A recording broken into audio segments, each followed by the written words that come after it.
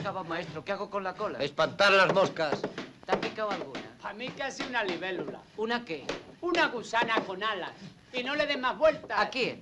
A la cola, nena, a la cola. A la nena. cola, a la cola. Parece que está sacando bien. entradas para los toros. A mosquita, Taru. Oye, Viruta, ¿qué hora tienes? Viene con 20 minutos de retraso por lo menos. ¿Quién va a ser? La que le trae a Felipe el cerebelo desnivelado. A mí. Esa no nació todavía. Y tendría que ser muy... Guapa. Más que guapa, re guapa. Sultana. Y usted es rey moro, enano. Para chuparse los dedos. A callarse, ciprés. Y usted dar un paseo conmigo, Prenda. En el sillín cabe otra. Sí, su abuela. ¿Necesita usted una carroza? Pues pase que se la vamos a hacer a la medida y regalar. Entre todos. Menos este que está muy ocupado. Pues no le distraiga, que me puede echar a mí la culpa si le falta un tornillo.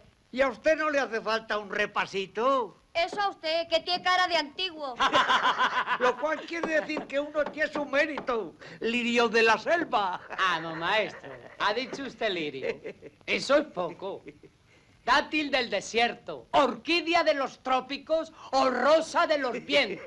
O sea, Es mucho floripondio para una humilde violeta como yo. Violeta, pues para mí es usted un clavel. Reventón. Ya será algo menos.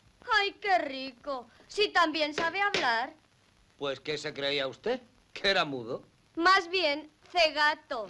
Porque no ve usted ni lo que tiene delante.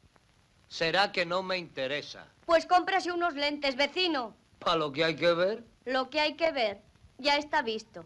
Un aprendiz de hombre que tiembla delante de una mujer. ¿Quién? ¿Yo?